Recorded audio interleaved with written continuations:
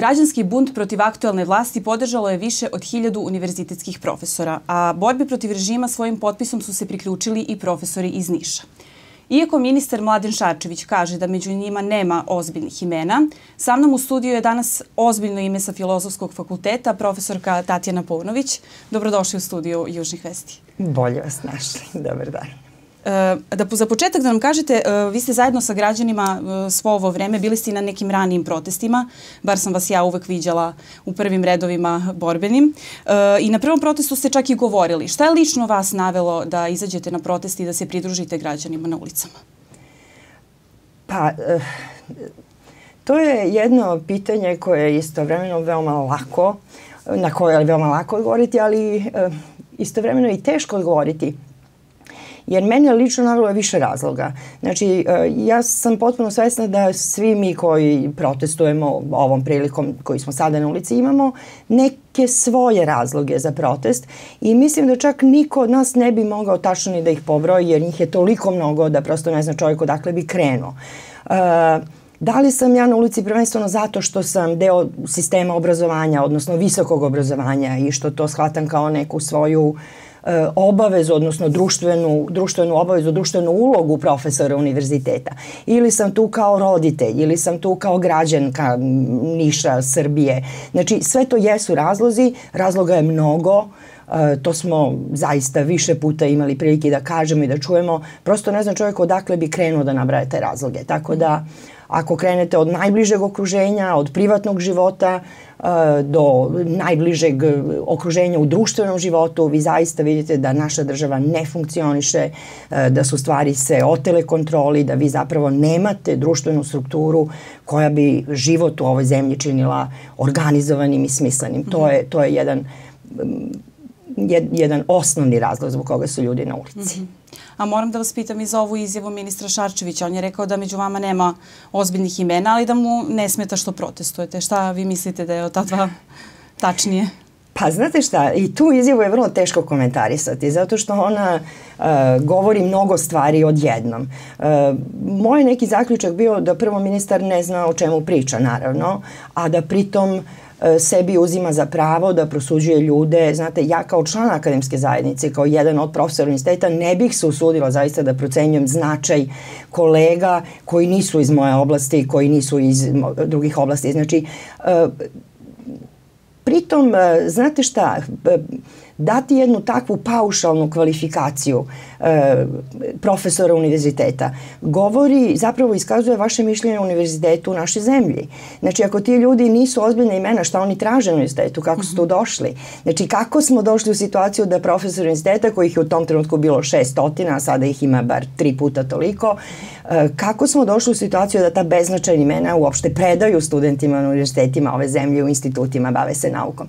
E, tako da je ta izjava s jedne strane vrlo neozbiljna, s druge strane vrlo ozbiljna jer je simptomatična. Znate, stav ministra Šarčevića, zapravo jedan tipičan stav svih ministara naše vlade, odnosno svih predstavnika tekuće vlasti, e, prema svim ljudima koji se bave nekakvim poslovima u ovoj zemlji.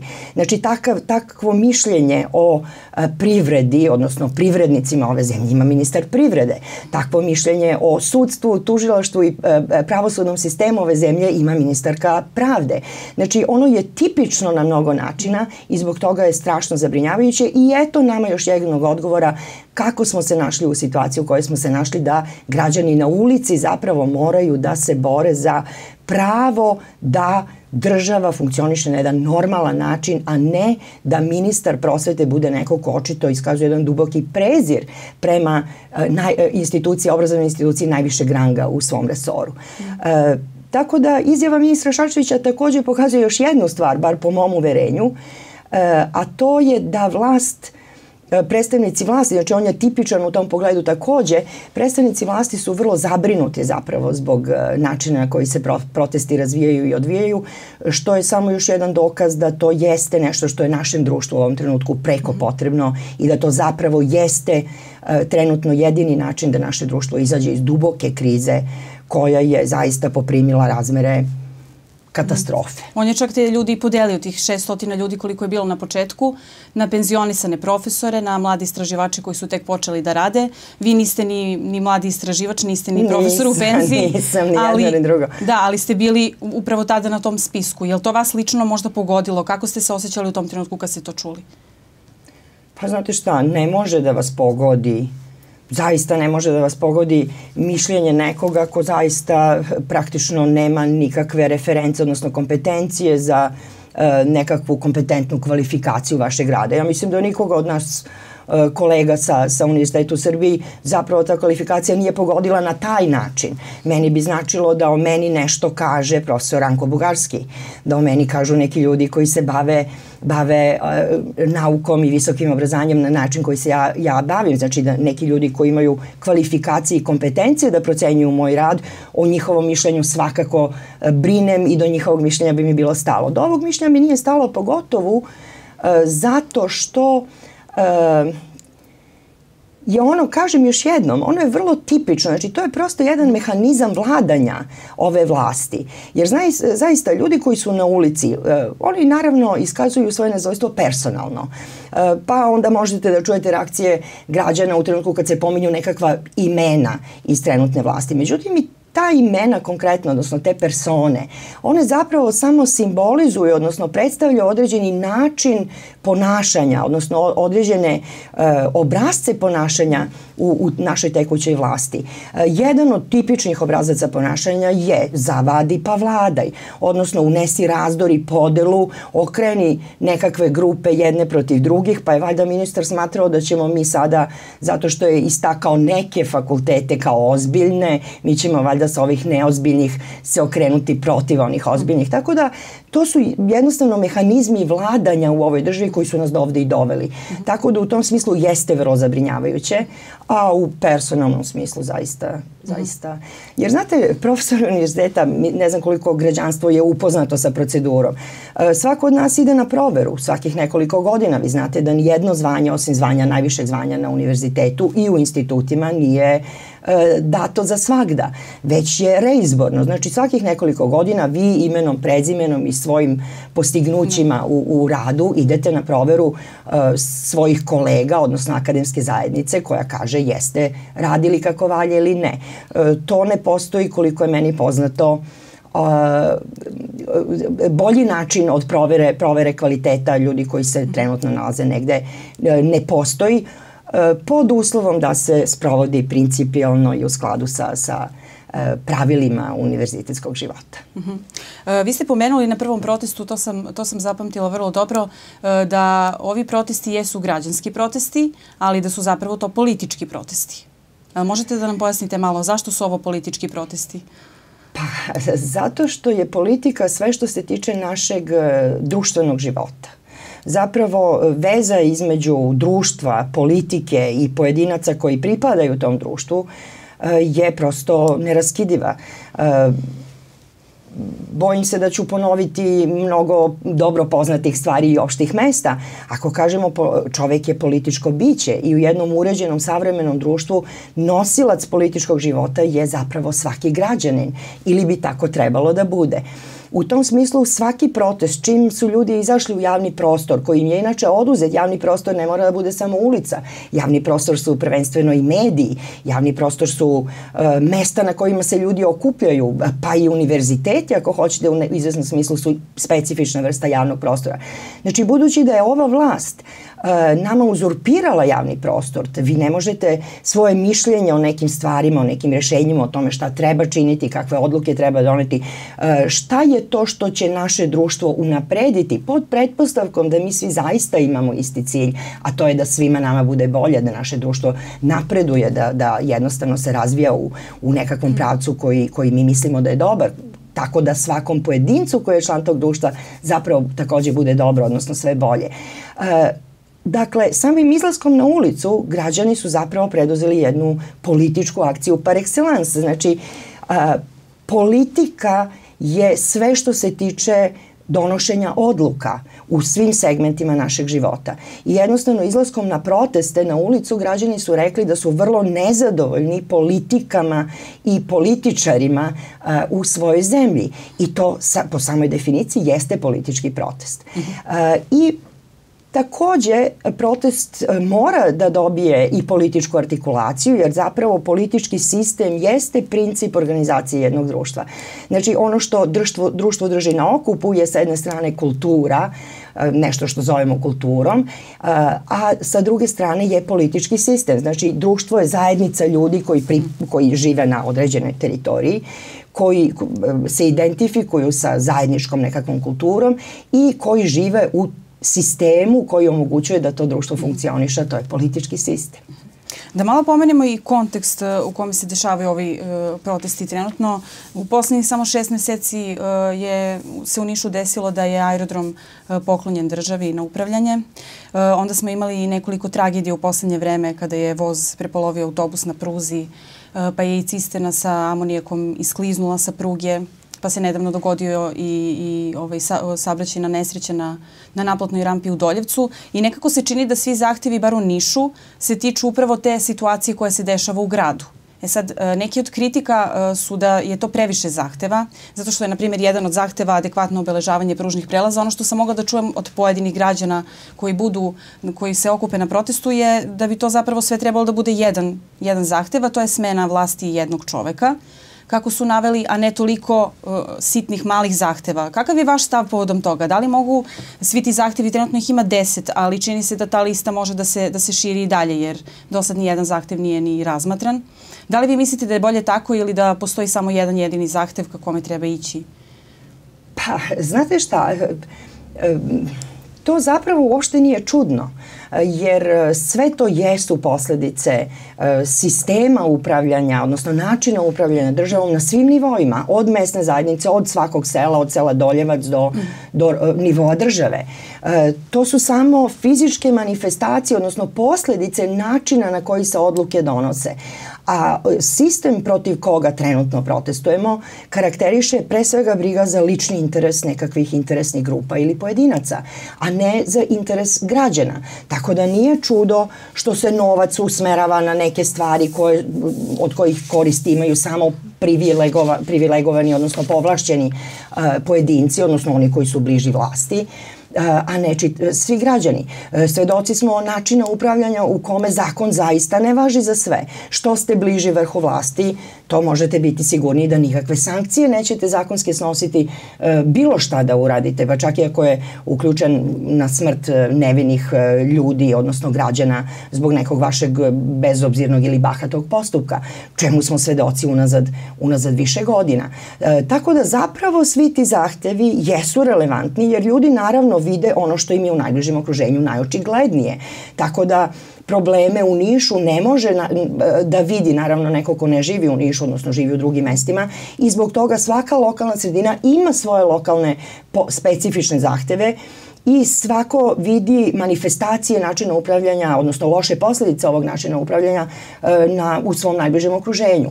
Međutim, ono što je zajednički imenitelj svim tim zahtevima jeste zapravo zahtev za promenom načina na koji ovi političari koji su se dokopali vlasti zapravo vrše tu vlast, odnosno kako koriste državne resurse i sve ono što je zapravo zajedničko vlasništvo svih nas koji ovde živimo za sobstvenu korist, a na štetu sve većeg i većeg broja, broja ljudi, jer zapravo takvo jedno bahato e, neodgovorno ponašanje prema resursima e, neminovno vodi do ovako loših posledica. Tako da zapravo svi ti zahtevi jesu različiti, ali oni zapravo jesu, jesu isti. Uh -huh.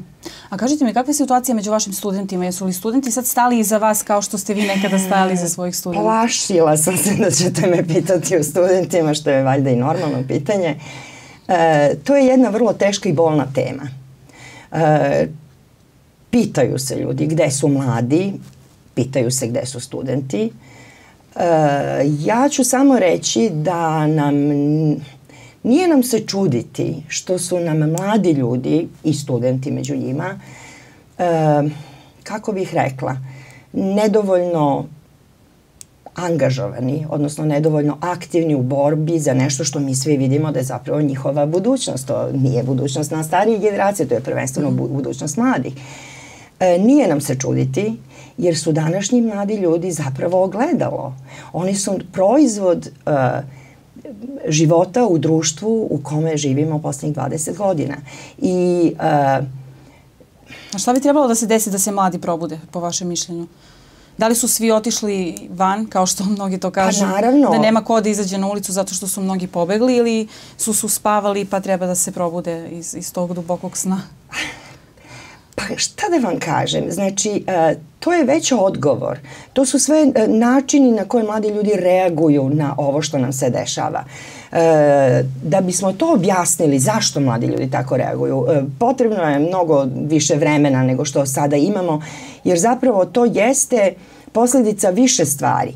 E, prvo, mislim da mladi ljudi e, ne razumeju baš najbolje e, način funkcionisanja e, društva i društvenog života. E, to je posledica obrazovnog sistema kroz koji su, kroz koji su se školovali, odnosno vrednosti i e, kako bih rekla, vrsta znanja koje se stiču kroz obrazovni sistem. Obrazovni sistem naše zemlje razaran je u proteklih 20 godina, malim koracima, nekad su ti koraci bili veći, nekad su bili manji. E, na kraju krajeva postoji globalni problem, a to je istiskivanje koji se tiče, ako hoćete, sad su sve to oblasti koje nisu moja, moja oblast mog, mog e, naučnog interesovanja, ali jesu oblast interesovanja svakog građanina. Znači, potiskivanje društveno-humanističkih nauka na margine, e, smanjivanje, ako hoćete, i, i udela društveno-humanističkog obrazovanja uopšte u obrazovanju u zapadnom svetu, jeste evidentno već e, par decenija i nije se čuditi onda zašto mi ne razumemo više tako dobro kako stvari funkcionišu i e, koje posledice izvrsna ponašanja u jednom društvu mogu da proizvedu. Tako da je to jedan od faktora. Drugi faktor je e, takođe veoma ozbiljan, a to je činjenica da je kultura našeg društva takođe sistematski razarana već godinama. E, s te strane je meni jako simptomatično i mislim da je potpuno prirodno i razumljivo što e, ljudi iz kulture e, imaju velikog udela u ovim protestima. Jer zapravo kultura, da li visoka kultura ili ona kultura koja prožima celo društvo na nivou, na nivou um, svega što, što se e, dešava u društvenom životu, e, uloga kulture je veoma značajna. I mi sad imamo situaciju u kojoj, a šta čini kulturu? Znači, to, to, to je potrebno razumeti. E, mi pod kulturom obično podrazumemo ili samo visoku kulturu, znači dela umetnosti, književnosti, muzike, baleta, ali zapravo kultura jednog društva je, najčešće se opisuje kao kao e, ogroman ledeni breg od koga je vidljiv samo jedan neznatni mali deo, to su ove um, fizičke manifestacije jedne kulture kao što su, ne znam, način odevanja ili način ponašanja, tradicionalne neke stvari koje, koje se rade u nekom društvu. Ali zapravo suštinu kulture čini ono što se ne vidi, a to su vrednosti, stavovi i uverenja koja treba da dele svi članovi jedne zajednice. I zapravo ti stavovi, ta uverenja i te vrednosti, temeljne vrednosti jednog društva, uh, one se prenose s generacije na generaciju. Omladina, nisam zaboravila što ste me pitali, sad ću se vratiti, naše mlade generacije zapravo su odrasle u jednom društvu u kome postoji ogroman raskorak, da ne kažem čak i direktan sukob između onoga što e, se tradicionalno percipira kao temeljna vrednost naše kulture. E, pođite od čega hoćete, znači od toga da ne treba lagati nego govoriti istinu, da je istina vrednija od laži, da je saosećanje, poštovanje, uvažavanje drugoga e, takođe nešto što je društveno poželjno i prihvatljivo ponašanje dok je diskriminacija ili, Jasne, ili nejednak tretman nepoželjno društveno ponašanje. Znači mi živimo u društvu, mladi su odrasli u društvu gde vi na javnom planu od vrha države nadole imate manifestaciju sasvim drugačijeg sistema vrednosti od onoga koji je zapravo da. temelj naše kulture. Tako da su mladi ljudi odrasli u jednom Ja ne volim da koristim termine koji zapravo pripadaju nekakvim oblastima medicine, kao što je, ne znam, ja, šizof, šizofrena podela ili depresija, ali vi zapravo imate jednu podelu. Na kraju krajeva pođite od toga šta je kućno vaspitanje.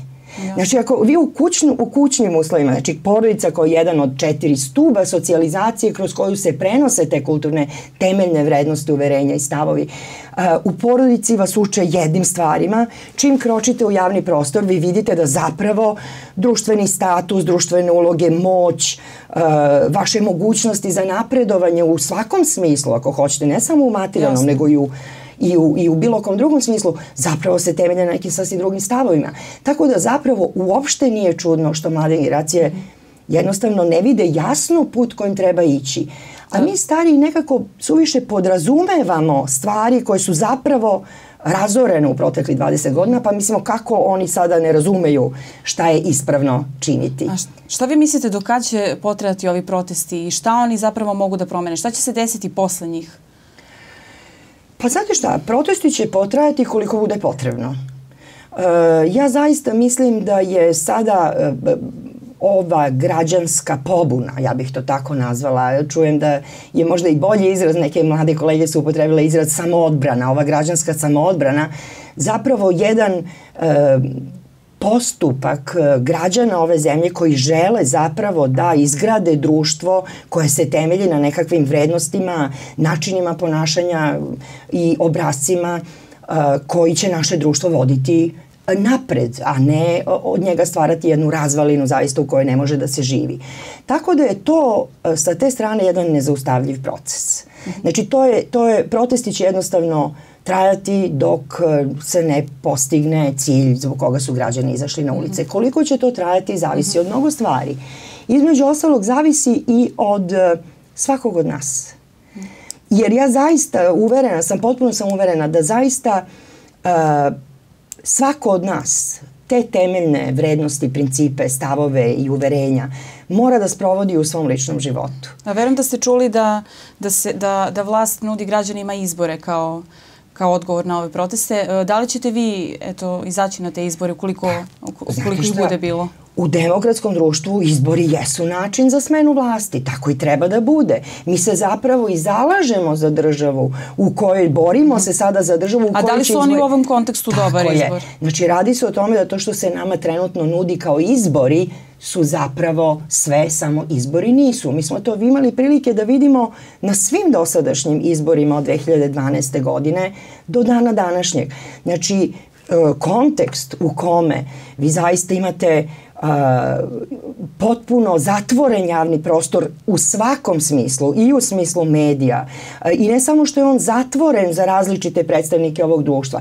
Vi imate državu u kojoj parlament uh, je izgubio svaki smisao jer se zapravo koristi pretvorenje u jedan običan cirkus u kome zaista više niko od nas građana ne može da smatra da je predstavljen na bilo koji način, niti taj parlament zaista pred, se pretvorio u glasačku mašinu izvršavanje volje, volje samog vrha vlasti. Ja neću reći jednog čoveka, jer taj čovek koji je jedan ne bi mogao da postoji da ne postoje oni koji stubovi na koje se, na koje se on oslanja, tako da je to ipak grupa ljudi. Uh, dakle, izbori svakako i da, mi se zapravo za izbore zalažemo, ali kada izbori zaista budu izbori. Uh, u ovim uslovima sada ja ne vidim način, znači, da uh, bilo koji, ko, ko uđe u tu utakmicu može da se nada bilo čemu, uh, bilo kakvom normalnom, normalnom ishodu. Hvala vam mnogo na gostovanju, gospođo Ponović. Hvala vama, bilo je zadovoljstvo. Vi ste gledali emisiju 15 minuta, moje ime je Jovana Adamović.